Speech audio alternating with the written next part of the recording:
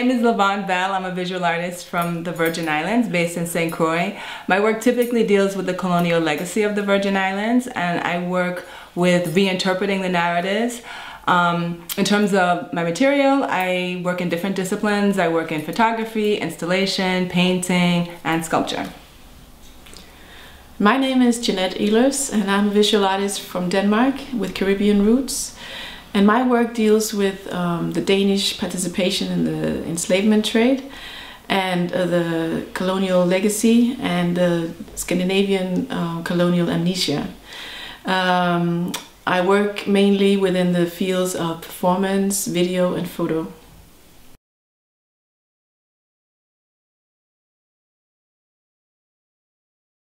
We are working on a collaborative public art project. It's entitled I Am Queen Mary. And the project was inspired because last year in March of 2017 was the 100th anniversary of the sale and transfer of the Virgin Islands from Denmark to the United States. And this momentous occasion brought on a lot of questions on how to commemorate it. Well, um, they were things like parades and exhibitions and symposiums. And we definitely wanted to add to that conversation by having this sculpture project um, and especially develop something that was permanent and that was also a critical dialogue.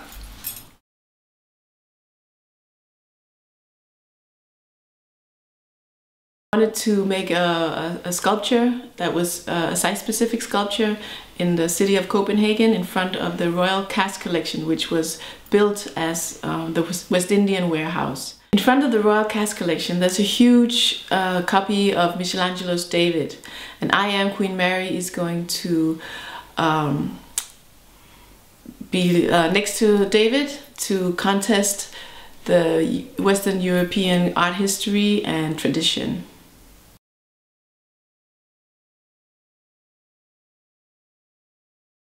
We decided to combine our two projects into one project. The physical figure of I Am Queen Mary uh, derives from a performance I did uh, called Whip It Good, which I performed inside of the warehouse. And uh, it's a performance in which I whip a white canvas with uh, a whip uh, smeared in um, black charcoal.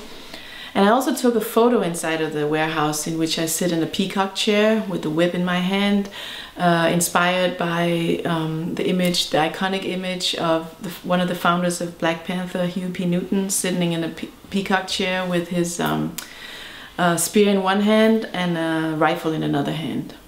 Right, but then we decided to, instead of having the whip, we decided to change um, what she had in her hands. So in one of her hands, she has what's called a cane bill, which is what was used to cut sugar cane. Um, in the plantations in the Virgin Islands. And the other object is a torch. Um, and that's was inspired because both of those things were actually colonial tools that people took and used them as tools of resistance. So I had done a piece that was called Trading Post and it was taking the corals from the foundations of some of the historical structures in the Virgin Islands that were from the colonial era. These coral stones were taken out of the ocean by enslaved Africans who were sent to harvest them. And what's interesting about them is that they form the foundation of the buildings, but you often don't see that because they're covered over typically with Danish bricks on top. So I really wanted to help to visibilize this labor and their hands, but also to make visible uh, the true wealth and foundation of the colonial legacy.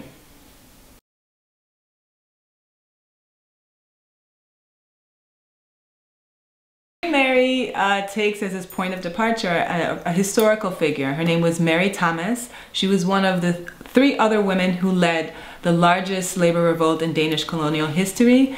Um, in St. Croix and in the Virgin Islands, we know of it as the Fireburn. And it began on October 1st, 1878. And she, along with the other women, they were taken to Denmark and they were imprisoned. Um, their sentences were commuted and then they were returned to the Virgin Islands. And when they were returned, they were living legends. We sing songs about Queen Mary. She emerged as the most popular. And we even have a highway named after her. Yeah, and in Denmark, she's not well known at all. We don't know this legacy. We don't know her legacy. So this is a good way to introduce or to uh, give conscious to um, the Danish people and to the rest of the world um, about um, Queen Mary's legacy and the fire, the queens of the fire burn, and also this is a way to um, uh, highlight uh, the symbols of resistance, which Queen Mary definitely is.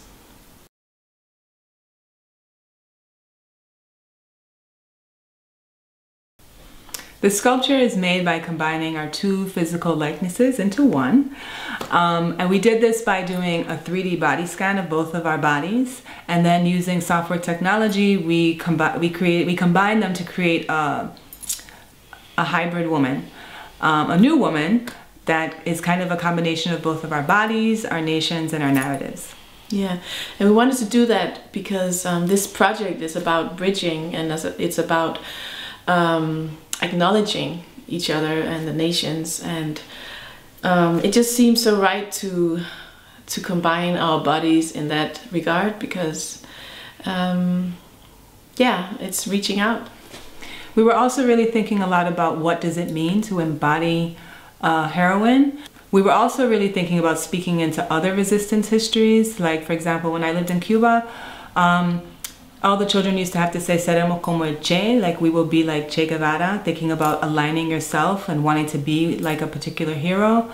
Um, it's speaking into that famous placard from the 1960 sanitation workers strike that says, I am a man.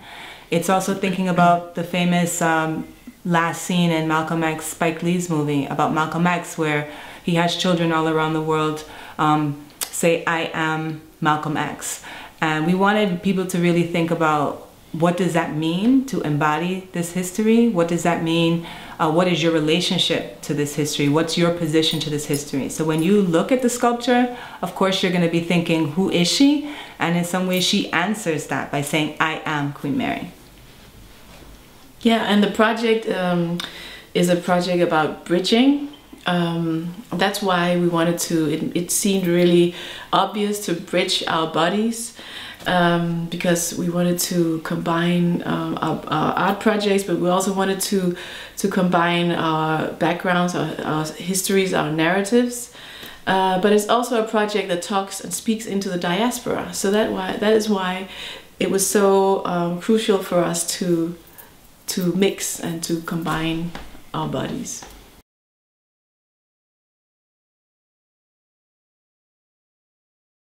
A lot of the sculptures in the public space in Denmark are of white males. And so this sculpture is of black women. it's, um, you know, I think that it's gonna definitely mean something for people to see this colossal, it really is um, a monumental sculpture dedicated not just to resistance, but also of, you know, it's a sculpture about female empowerment, I think, mm -hmm, too. Mm-hmm, definitely. And it's also created by females, you know, that's mm -hmm. another dimension to it. So um, it's a big manifestation.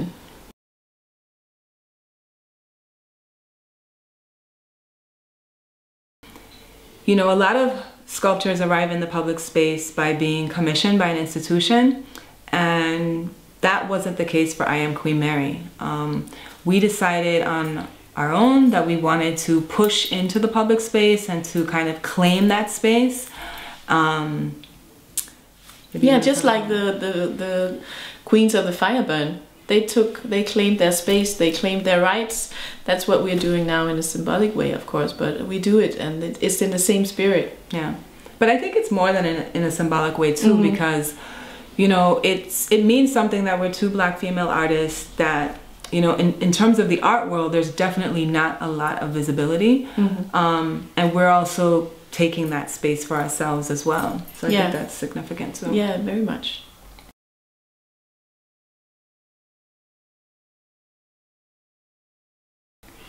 Critics will say this is uh, African art.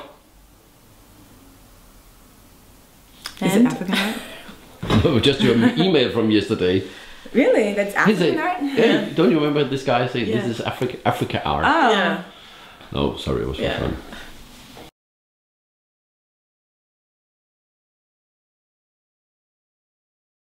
It's been a lot of fun. Um, you know, it's been very uh, giving to collaborate mm -hmm. and um, to develop this project. Um, it's been so uh, eye opening, I think, and it's just been so. Um, yeah, it's just been so great to to go deep into history and process and with another another artist and um, yeah i enjoyed it a lot Yeah. I think what was fun for me, which was the surprising part for me, um, when Jeannette first asked me to collaborate on this project, I thought she meant to collaborate on our two previous ideas. Like, you know, she had a figure and I had a, a part of a sculpture that pretty much was effectively a base. And it was only until I got here that I realized, and she was like, okay, we're meeting the body scanner. and I was like, body what? For what? so, but that part actually was a lot of fun to do the body scanning and to see our two, you know, to just have a wand and then have our bodies be transformed into a screen and then have them merge. Um, it was almost like what our kids would look like if we had one. yeah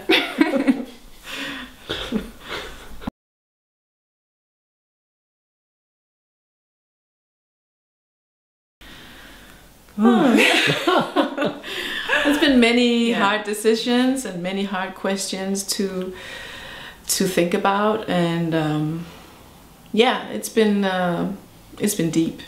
Yeah.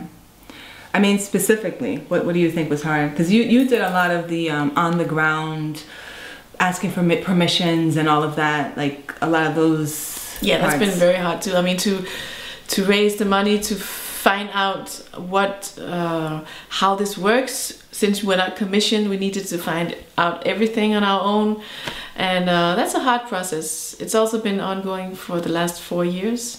But um, yeah, that's a that's a tough one. But we're getting better. No, she's amazing.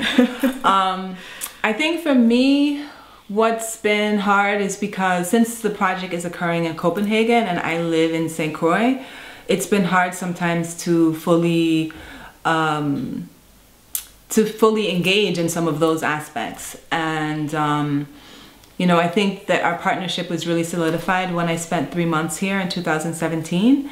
Um, and that's when we really got a chance to have all of those conversations. And um, and I got, you know, that's when the part the partnership I think was really solidified. Yeah, definitely. It's it's a little difficult to work on distance actually, but when you were here, it we kind of yeah we got um, we got a lot of things in place, Mhm. and it started to develop and and uh, bloom hmm when you were here. So that was great.